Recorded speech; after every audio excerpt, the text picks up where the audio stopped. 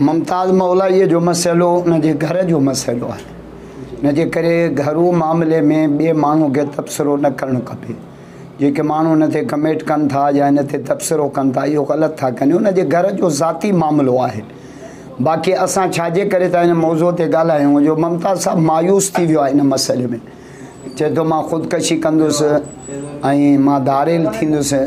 یہ شیوں مایوسی جے طرف تھیوں من یعنی اسلام میں مایوسی کانے کا اسلام میں خودکشی تا حراما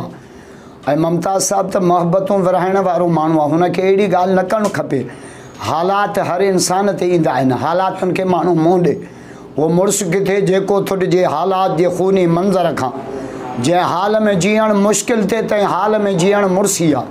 نہیں کہہ رہے ممتاز مولا یہ کہ جے کہ اللہ سے عزت دینی شہرت شوہرت शोहरत वारे माण्हूअ जे पोयां माण्हू पइजी वेंदा आहिनि इनजे करे मुमताज़ मौलाई साहब खे इन मामले में मायूस न थियणु खपे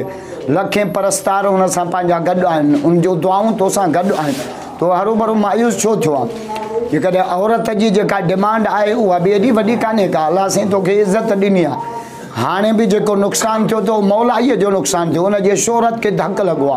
इन इनजे मामले के ममताज़ मौलाई साहब चौदीवारी के अंदर हल कर यो इहो सोशल मीडिया से न अचण खपे यो बेहतर ना ममताज़ मौलाई लाए भी उन भी बि जो सोशल मीडिया से अचण यो मुनासिब अमल को